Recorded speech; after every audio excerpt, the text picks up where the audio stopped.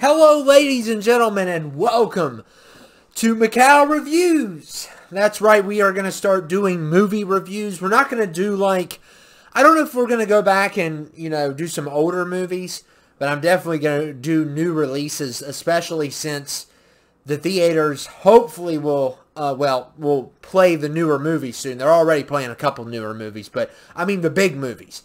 But um, I'm going to start doing reviews. I'm going to do stuff on, you know, just different different kinds of movies. Some of these movies you might not be familiar with.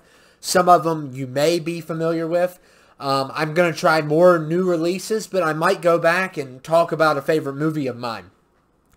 There is a couple things to my reviews that I want you all to know. I know some of you all have griped um, about me eating on camera. So every review is going to have me eating dinner. And today, guys, it is Swedish meatballs. That's right, Swedish meatballs. So, yeah, you're going to have to deal with it. I don't know what else to tell you. Also, we're going to have a little bit of black cherry water. Why not? Why not? So, I am going to... I probably shouldn't be eating while doing a movie review, but I don't care. I'm hungry. Okay. So our first review, and let me talk about the rating system. 8 out of 10, you know, 5 out of 10, it's it's just, I can't even do that. You know, it's, it's hard enough for people when they do, like, uh, 1 through 5 or 0 through 5. I don't get it. So I'm going to have to put decimals. Well, I'm not doing decimals. What I'm going to do is a score from 0 to 100 and that is your grade. It's like getting a grade in, you know, school or something. So today's review is the Snyder Cut Justice League that recently came out. And I got to say this. It's on HBO Max if you guys are wondering. I'm not going to give spoilers until I tell you. And then I'm going to give spoilers. I'm not going to do that with every single movie, but I am going to do it with this one because there's some stuff I want to talk about. But don't worry, I will warn you ahead of time. It will be towards the end of the video where I do spoilers, just in case you guys haven't seen it yet. I know a lot of people don't have HBO Max. Um, I think it's worth it, but I can't. I can't rec- uh, I can't tell you guys to get it because, you know, I don't know if you would like it or not. It just depends on the person. But if you guys don't know, they've been putting a lot of movie exclusives um, here lately on HBO Max due to the whole pandemic thing. And yes, I will say that word on this channel. Um, so ever since that's happened, they've been releasing movies and you can watch them from home. Now, some movies I think are better in the theater. This one would be one, but this one I I'm not for sure, but I think it was more exclusive to just HBO Max and not the theater. Some of them share the theater and HBO. But I think this one was just on Max. I could be wrong. Um, so don't quote me on that. But anyway, um, they put out the first Justice League a couple years ago. I don't know exactly the year.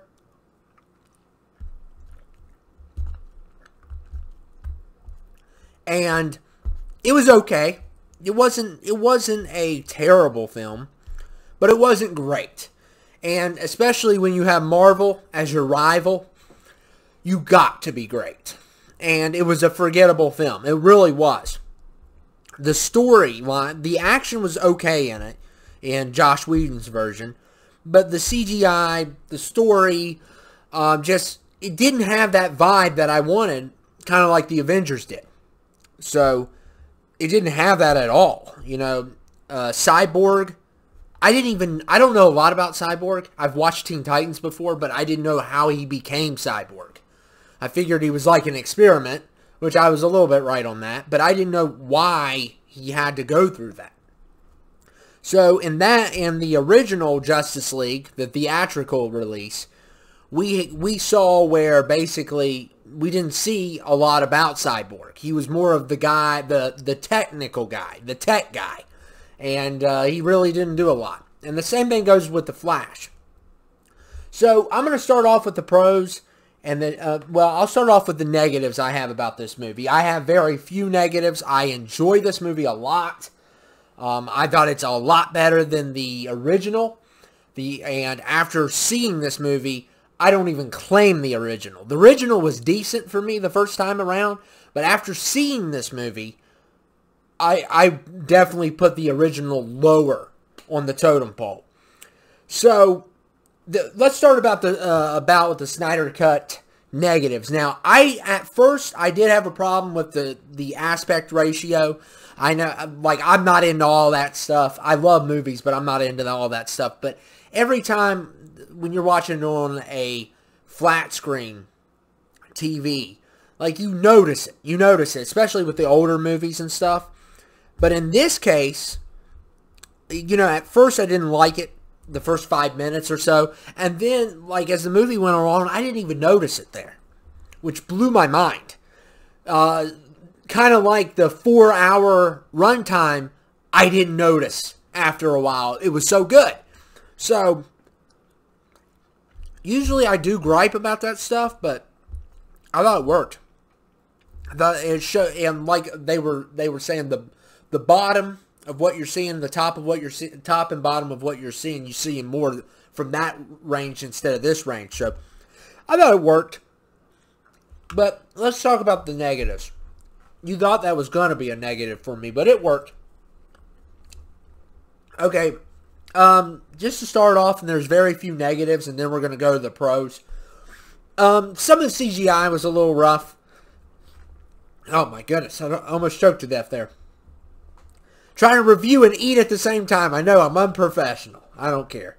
Some of the CGI wasn't that great. Um, I thought the CGI, uh, like in certain parts, um, there's there's a scene especially um, during a certain battle where it's just some random guy. It's not even one of the characters, um, and it, it looked it looked like a video game. Uh, a couple times there, it was mainly in that battle scene and maybe a few other times. But uh, that one particular scene, I remember. It's like one of, uh, I don't know if, if it's one of Aquaman's people or it's some guy with Aquaman's people. I, I, I don't know. I kind of zoned out a little bit there. So the CGI was a little bit rough there. Not not not too much to complain about. Um, also, I'm not on board with this how the the whole thing with Flash on how he like speeds. It kind of messes with my eyes. Uh, you know, I don't mind a lot of flashes in movies and stuff because I mean I can watch the Avengers or other movies and they got tons of stuff like that. But him going um, with the blue light thing that's going on around with Flash kind of messed with my eyes a little. I'm not gonna lie. I don't I don't like how it looks. Uh, I've seen Flash the show, and I believe it looks different, and I like that a lot better.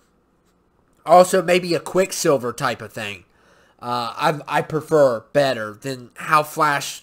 You know, it looks it looks good when you're watching it in a distance. When that blue light starts beaming in your eyes, I just don't like it. I I, I don't like it. That's a, like I said. These are minor gripes, and um, one of my biggest gripes was there's a couple times, and I know Zack Snyder's known for doing this, but the slow motion. I like slow motion. Slow motion is okay, but he does it way too much. But I mean, that's a little bit of gripe. Um, that the main scene I can think of is when Flash is trying to, and it deals with Flash once again where he's trying to he's he's trying to like touch something and it's gonna bring a lot of like impulse or something like that. It was just way too slow. I mean, it's just slow motion on that was just like I, I was just just waiting and waiting and waiting. And I had a couple issues with the slow motion. Most of the time, it does work, but it was usually with Flash where I didn't like it. And that I'm I'm still not a big scene uh, fan of that scene with. I like Wonder Woman a lot, but the scene where she's stopping the thing in the bank, it's just just something off about that. Um, but those are little complaints.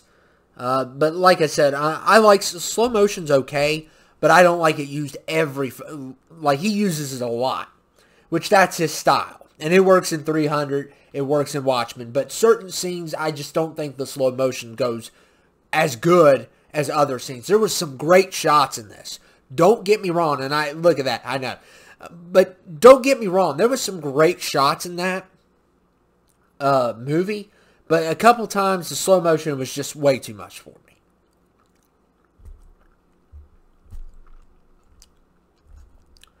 And then this is a more of a me being just a jerk, um, more than a critic uh, when I'm rating this movie.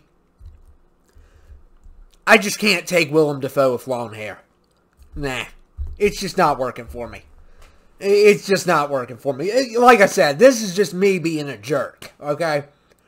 Yeah, every time I see that man, I, I just, I was like, I think of William Osborne. That's all I think of.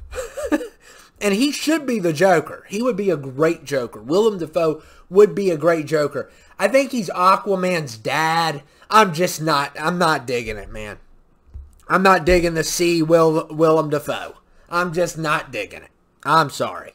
I'm being a hater here. I'm just absolutely being a hater. so,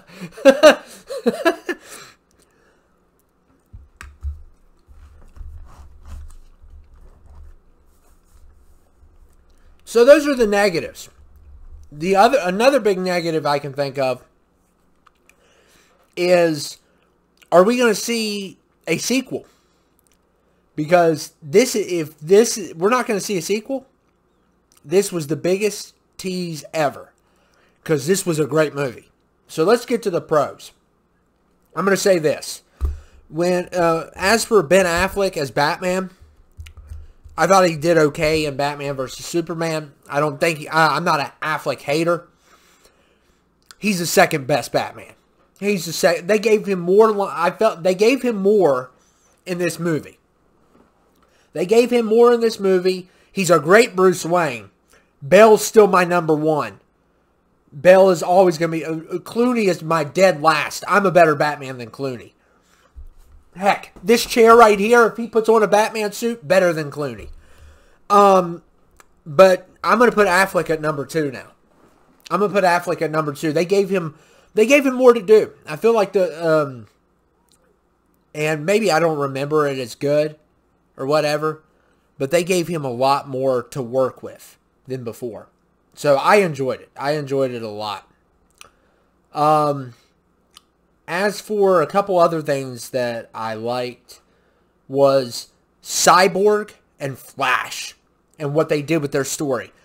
If you guys watch the original version and then watch the Snyder cut, they cut so much out of Flash and Cyborg.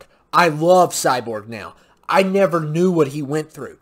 I mean, his character, I'm not going to tell you, but his character development in this movie is excellent. They really did his character justice.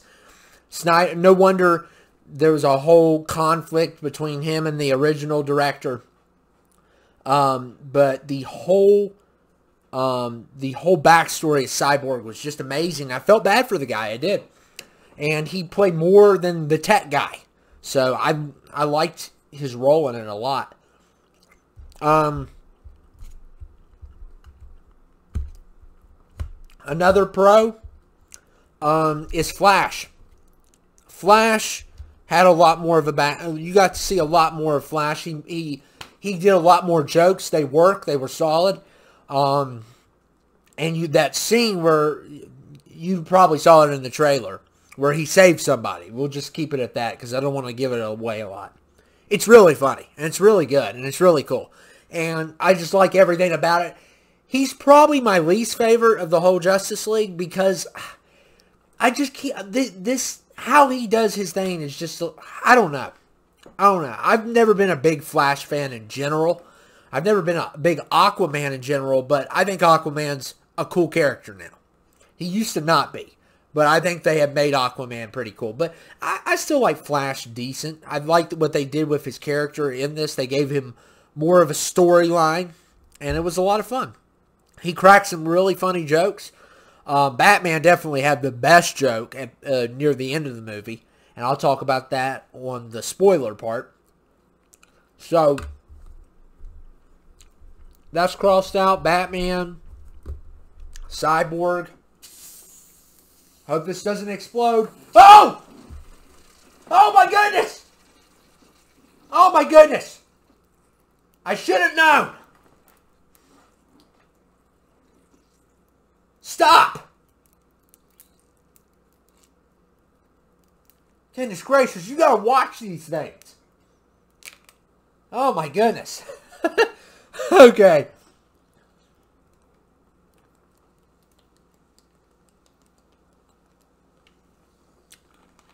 I know this is an unprofessional video. I don't care. I just don't care. Let me get a, uh, another one of these noodles. And then I'll, I'll continue on. I'm sorry.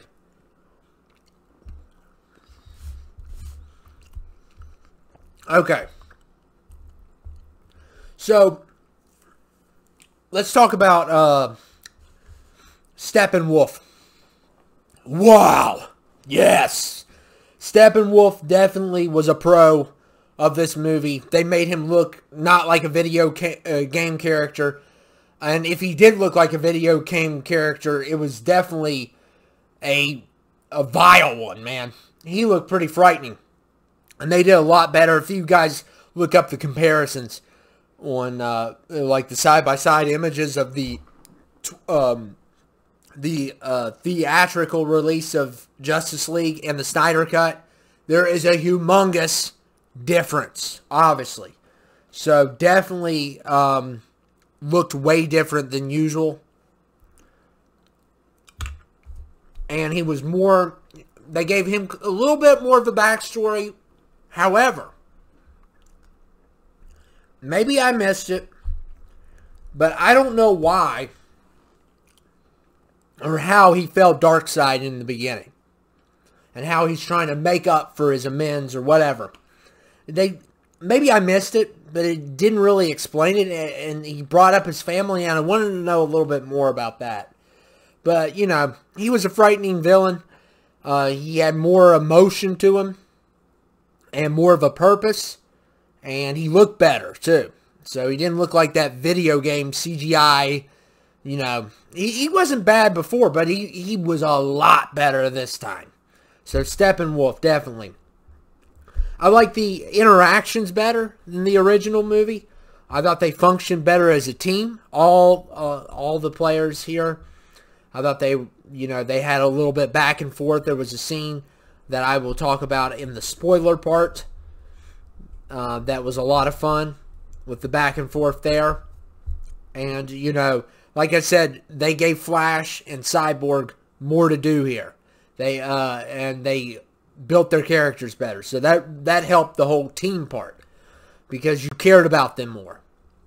Okay, now this was rated R, and it had you know there was some language in it. I I thought at one part there was a really good scene with with a certain word in it. I'm not going to say it, but um, I thought it was a really good scene, though. There was some blood in this movie, and it really worked. It really worked. Uh, it didn't need, uh, you know, you didn't, usually you don't have blood in, like, superhero movies or stuff like that, but I thought it worked. It was made Steppenwolf more menacing, and, um, you know, there, and there's also some other big surprises, which I'll talk more in the spoilers. So, before I spoil this and go to the spoilers, I am going to give the Snyder Cut. Overall, I loved this movie. I thought it was way better. It made the other movie look like garbage, which it now looking at it, it is. And I'm glad I didn't buy it on Blu-ray because uh, I want the Snyder Cut. The four-hour runtime felt like two hours, maybe two and a half hours. It, it, it was like Lord of the Rings for me. You know, it didn't feel like it was really long. I mean, it didn't. So I'm going to give it on a grading scale. If I was giving this, if it just submitted the movie as a test, I am going to give this movie an 86. So 86 out of 100. That is a B. Um, it's a uh, mid-range, a little bit to the higher side of the B. But I'm going to give it an 86 out of 100. I was going to say an 85, but I thought I'd be a little bit generous and give it an 86. So, and um, yeah, so we're going to talk about spoilers now. And this is your warning. If you have not seen the movie, please leave. You will not file any sort of lawsuit against me if I spoil this movie for you after this moment.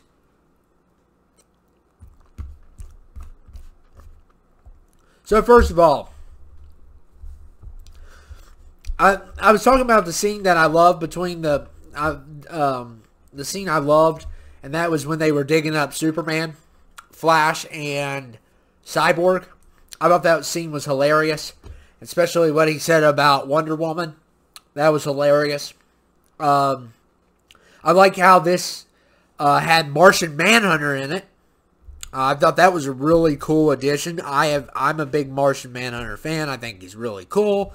You know, you know, and the whole fact that they were going to set up the tables with the Justice League, and you know, another thing I liked was uh, Darkseid. You got to see Darkseid a little bit. I liked how they killed Steppenwolf off, and I like how Darkseid it was right in front of his face, and it made it so interesting. I mean, and I like you know, I'm not a big on Lex Luthor, but I like how they brought the bald Lex Luthor in and Deathstroke. Deathstroke arrived. So that was that was fun seeing Deathstroke again.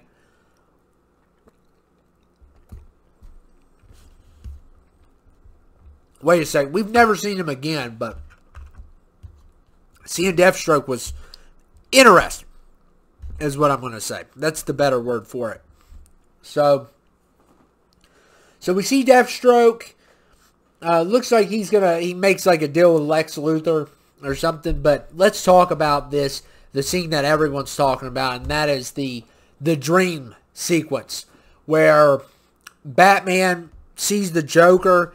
It's Mera, it's Batman, the Joker, um, Deathstroke's there. I, I I was instantly like, what? This doesn't even make sense. And I'm trying to think if I think Flash may have been there and something bad happened. And Darkseid probably did something. And they keep on saying the key is Lois Lane. So I'm assuming Lois Lane's dead. And that makes Superman snap. Or something. And this is a premonition of the future. And I thought it was really cool. Joker and Batman had a little back and forth. I thought Leto did a good job this time. He had more to work with better writing. I like the shot too, where you couldn't really see his face, you just hear him talking. Man, that was a great shot by Snyder. And yeah, I thought that was really interesting, and seeing Martian Manhunter especially. I, have been dying to see him for quite some time. I love the scene with Flash where um, the, I never knew that Cyborg was in a car wreck. I felt really bad for him. That Cyborg was in a car wreck and his his mom passed along with him felt bad for the guy. I really did. Um, and how his dad wasn't there for him, and they, and he, then his dad. That was another issue I had with the movie, and um, his dad dying. I've, I've in the movie, I felt like it could have. He, I guess he marked where they were, where Steppenwolf and the crew were, but like it's, it's like, really. It'd be like it'd be a bigger sacrifice than that, than just giving the coordinates of where this guy is. I guess it is, well, it is a big deal, but I mean, it'd be like he would destroy the box, and the box would never get unleashed. But, you know, I guess they couldn't do that. I don't understand. You know, I didn't understand the boxes really well. You know, it's just like kind of, like the Infinity Stones make more sense. I'm not even a Marvel fanboy. I'm just like I like them both, but but I just thought, but it still was a great movie, like I said.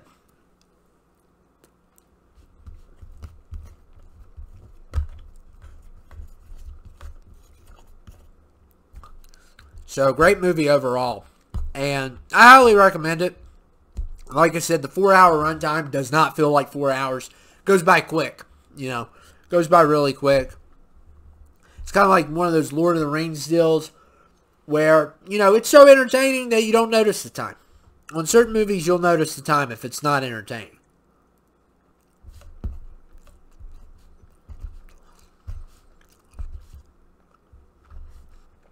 These noodles are great. So that's my review. I'm going to give it an 86 out of 100, though. Definitely 86 out of 100. And also, um, to talk about the Joker, it looks like Batman may have killed Harley Quinn. And I don't, I don't know if they're ever going to go back to Batman and the Joker. I would like to see Ben Affleck as Batman more. I'm all for Robert Pattinson being a Batman. He, he's a really good actor. But I want to see Affleck now since they put this movie out. I want to see definitely uh, uh, Cavill come back as Superman. And Gal Gadot definitely as Wonder Woman. Jason Momoa as Aquaman. I want to see all of them come back. I don't think Cyborg's coming back due to the conflict issue. And he was in the dream dream sequence, so I don't know how they're going to do it. They need to restore Snyder's vision. Duh. They do. And I've seen that hashtag. They definitely do. It's a shame that he couldn't finish the movie and um, and they could have that in the theater because that would have been way better. That was a way better movie. And I thought it really, you know, with the minor complaints that I had and, you know, just me being a little bit biased in certain parts, you know, 86 out of 100 is a great score. That's definitely a movie I'd buy on Blu-ray for sure.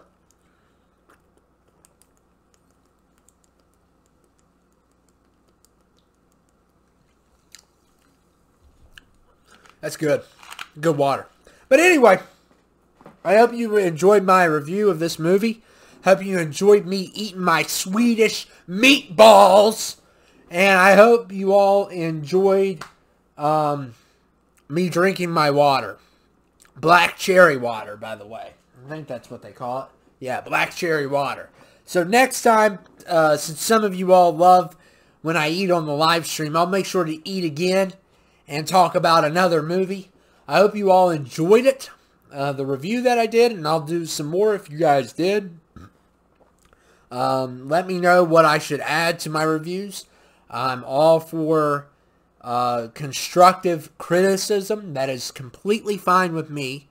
So, I guess I'll see you guys later. 86 out of 100 for the Snyder Cut. That was a fantastic film definitely the the vision that I wanted for the Justice League. I think they should bring some of these guys back, man. It, it, Cyborg was great, man. I, I don't know if they're going to bring him back. And uh, Affleck is great as Batman. So, yeah, there's a couple concerns I have if they're going to do another one. If not, you know, this is just a big tease. So, but anyway, guys, make sure to like, comment, and subscribe. I'm out.